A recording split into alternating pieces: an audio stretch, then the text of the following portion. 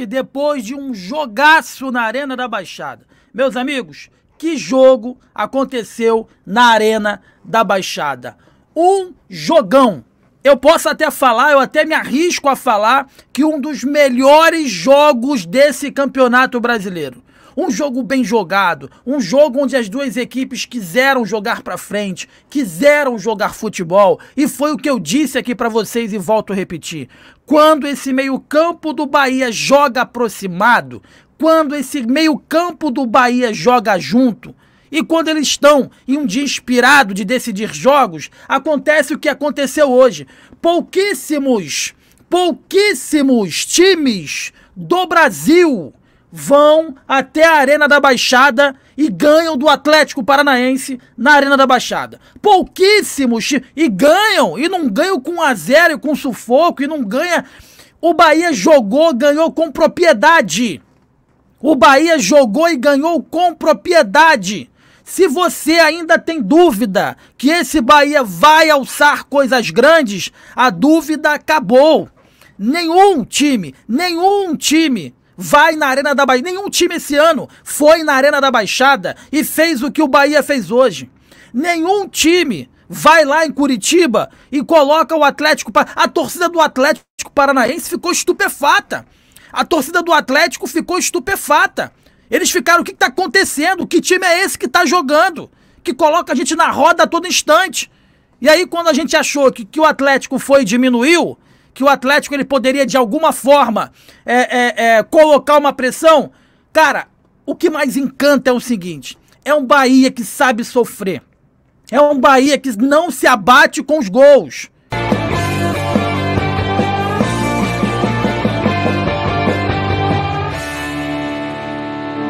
Fato é que pouquíssimos times vão até a Arena da Baixada e vão ganhar de forma tão contundente como o Bahia ganhou hoje da equipe do Atlético Paranaense. Quer assistir o jogo junto comigo é o Clóvis Vieira, o comentarista polêmico que vai subir agora. Clóvis, aplausos para esse jogo de hoje entre a equipe do Bahia e também a equipe do Atlético Paranaense. Meu irmão, que jogar, dá gosto de ver esse Bahia jogar, Clóvis.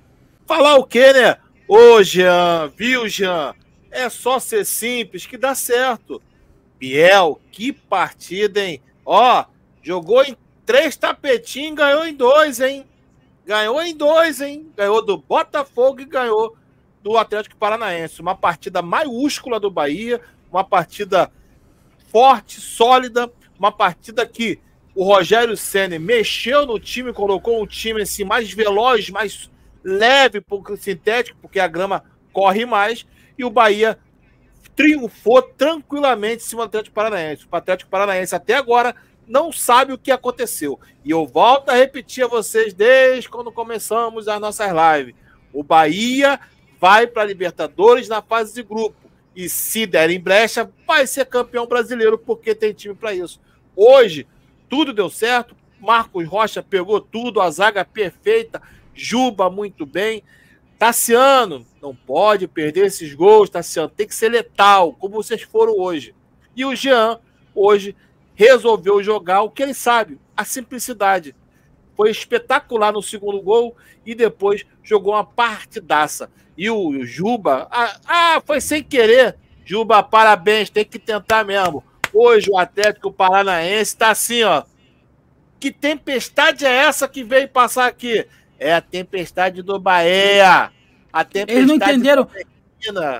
Clóvis, eles não entenderam nada. Eu tava vendo na cara dos torcedores do Atlético, eles são soberbos, tá? A torcida do Atlético, a, a, a, torcida do Atlético Paranaense é uma das torcidas mais soberbas que tem do futebol brasileiro. E eu fui inúmeras vezes na Arena da Baixada. São soberbos, te olham de lá de cima para baixo. São soberbos. Irmão, a carinha deles, a carinha deles, vendo assim, o que, que tá acontecendo? Que time é esse? Que time é esse? Que vem aqui e tá botando a gente na roda. Que time é esse que vem aqui e tá jogando o que tá jogando? Sabe, de, deixa eu só ler aqui. O Rick Alves, abraço, irmão. Tamo juntasso. Ele botou aqui, ó. Talvez muita gente não saiba, mas o projeto do City não é para este ano. O que estou vendo é surreal. Cara, tenho 53 e vi meu Bahia ser campeão 88 e 89. Rick, se orgulhe, irmão. se orgulhe. E foi o que eu disse aqui anteriormente, Rick. Vou voltar repetir. É um projeto de meses, Clóvis. É um projeto de meses. O Flamengo tá nesse patamar agora porque o Flamengo tá aí há 5, 6, 7 anos tentando chegar, né? É, é, ganhando dinheiro e vendendo jogador. É um Bahia com um projeto de meses que já tá chegando já nesse patamar de brigar pelo Campeonato Brasileiro. E deixa eu lembrar, tá? O Bahia tá na Copa do Brasil ainda também. O Bahia tá na Copa do Brasil também. É um Bahia que tá na Copa do Brasil, tá no Campeonato Brasileiro e na moral, ninguém tira essa vaga do ninguém tira essa vaga do Bahia da Libertadores pro ano que vem. Ninguém. Aí Libertadores é outro patamar. Aí tem que vir reforço qualificado. Não se joga, não se joga uma, um, um, com um time de Série B a Série A, não se joga um time de Copa do Brasil a Copa Libertadores. Mas, irmão, cara, tá dando gosto de ver o Bahia jogar. Tá dando gosto. É um Bahia, Clóvis, que não se desespera. O jogo pegado, o jogo corrido, e o Bahia não se desespera. Eles tocam com tranquilidade, de pé em pé. De pé em pé e com tranquilidade. Né? Cara, se tivesse o Muniz ali, nada contra o Everaldo, se tivesse um Muniz ali, se tivesse ali um Mastriani, se tivesse um Vegete ali, sabe? Irmão, era gol toda hora, Clóvis. Era gol toda hora. E aí que eu volto a falar, Everaldo, chama a porcaria da responsabilidade. Bate na porta lá da sala do Rogério Senna e fala assim, Rogério, eu sei que você gosta que eu me, que eu me movimente, mas eu quero ser o homem gol que você tá precisando. Eu quero ser esse cara, porque eu sei fazer isso, eu joguei assim. Eu quero fazer isso. E é isso que é isso que o torcedor quer, irmão. Gol de bico, porra. Gol de bico, gol de é gol. É gol. Hoje o Bahia iniciou o jogo abrindo o placar com um gol de bico e valeu tanto quanto os outros três gols ali que o Bahia fez. É isso. Não tem que ficar enfeitando, não tem que fazer golaço. É gol, seja ele como for. Não é isso, Clóvis? Exatamente. É o que a gente pediu. É aquilo que a gente falou do, do domingo. O Jean acertando aquele gol contra o Palmeiras, o placar era outro, o Bahia venceria. Hoje o Bahia com o segundo time, com o segundo pelotão mais leve, com o Depena, é, sem o Everton Ribeiro, sem o Caio Alexandre, também tem o Rogério Senna, é, tem que ser parabenizado devido à minutagem dando corretamente. O time era mais leve e o Bahia aniquilou o Atlético Paranaense. O Bahia triunfou com a facilidade há muito tempo eu não vejo uma equipe fora do eixo sul-sudeste, ou melhor, não vejo uma equipe ganhar o Atlético Paranaense de 3 a 1 com sobras, sem problema algum, dentro da Arena Baixada. O Bahia hoje demonstrou para todos os times que essa história de sintético é balelo. Bahia veio, triunfou, jogou bonito e com um time misto, não era o time principal, era o time misto, porque o Rogério Ceni teve que fazer revezamento de minutagem pois os jogadores podem estourar e a batida está sendo muito forte. E hoje a mudança foi muito boa. O Biel, para mim, o melhor jogador em campo, destruiu a defesa do Atlético Paranaense. Estão, um pouco, estão tendo pesadelos com o Biel. A defesa muito sólida. O Marcos Felipe, muito tranquilo. Parecia, o Marcos Felipe parecia o Neuer da Alemanha, com uma tranquilidade fora do comum. A zaga do Bahia, olha, é, é, é gosto de ver. Hoje à tarde eu vi Holanda e Inglaterra o jogo do Bahia, o futebol do Bahia, não desmerece nenhuma seleção europeia, não. Jogou de bonito, com categoria, botando na roda, toca aqui, toca ali, tá comigo mais, não tá mais, pega, pega aqui e fez 3 a 1 com autoridade. Vitória, vitória não, triunfo convincente, triunfo elegante e triunfo forte, mostrando a todos no Brasil que o Bahia tá forte. E com a Libertadores chegando, aí contratações pontuais. E não podemos esquecer, o Flamengo falou que esse ano ia gastar 380 mil. O Bahia falou que era 600. E não gastou ainda, hein? Vai gastar no momento certo. Agora o Bahia tem que contratar jogadores de peso. Esse time é um patamar. A Libertadores, esse time vai ter que ser um patamar a mais. Eu tenho certeza que o Bahia vai fazer isso. O triunfo de hoje deixou bem claro. Bahia vem para ser campeão brasileiro, se deixarem, e para ir para Libertadores fase de grupo. Temos um membro aí, Jonas. Exatamente. Faça igual o Bahia campeão aqui para ajudar a gente, meus amigos. Aqui, deixa eu falar uma parada para vocês. Evidentemente que tudo aqui tem custo. O microfone, a câmera, tudo tem custo. Tudo tem custo. Tudo tem custo. Mas a gente não fica pedindo superchat, não. A gente não fica pedindo, não. Você mande se você puder mandar. Você mande se tocar no teu coração que dá para você mandar e para poder ajudar o nosso trabalho. Inclusive, parte deles a gente vai tentar ir para Salvador para poder fazer a cobertura em loco do jogo, que eu acho que vai ser o jogo mais o jogo do ano entre Flamengo e Bahia no segundo turno. Eu e Léo Andrade e Clóvis Vieira está tentando, fazendo de tudo para poder ir para a Arena Fonte Nova para poder fazer esse jogo. Então, torne-se membro aqui do canal, igual o Bahia, que você já vai ajudar a gente muito, vai ajudar demais a gente. E tem uma galera que está pedindo o Pix aqui do canal para poder ajudar a gente. O Pix está na tela aí, ó. Tá aí o Pix, é o número de telefone, 99839 1330. Obrigado aí pela moral e obrigado. A gente não vai ficar pedindo super. Aqui a gente não pede superchat. A galera manda e se disponibiliza para poder ajudar. Isso aí tem, tem que partir de, de coração. A gente vai ler o chat, evidentemente, vindo o superchat. A gente vai dar prioridade ao superchat, mas a gente vai ler todos aqui no chat, independente de ser superchat ou não. Tá bom, tá, tá bom, meus amigos? Olha só, deixa eu falar uma parada. Deixa eu falar. Clóvis, o Bahia. Hoje o Bahia sacaneou o Atlético. Teve uma mensagem aqui, ó, desse camarada aqui, que é o Vitor Paulo Gonçalves. Ele fala o seguinte: o Bahia hoje brinca com seus adversários. E, e é total. O Bahia brinca.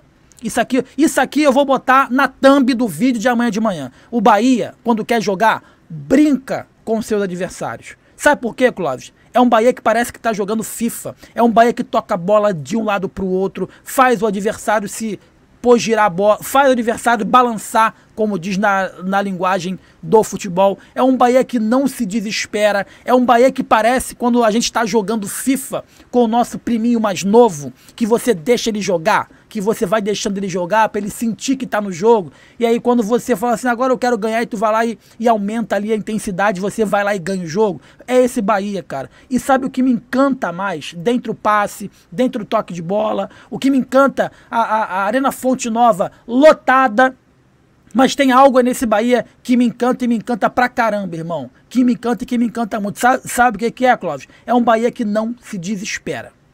É um Bahia que não se desespera. É um Bahia que tomou um gol. Qualquer time, qualquer time, Clóvis, que tomasse aquele gol de cabeça que o Bahia tomou, qual, qualquer time, Flamengo, Palmeiras, Botafogo, qualquer time, ia todo mundo recuar, ia ficar os 11 para trás, ia ficar tomando o tempo todo pressão para torcer que o jogo acabasse 2 a 1 o Bahia desesperou, Clóvis? Não. O Bahia falou assim: opa, a gente tomou o gol aqui.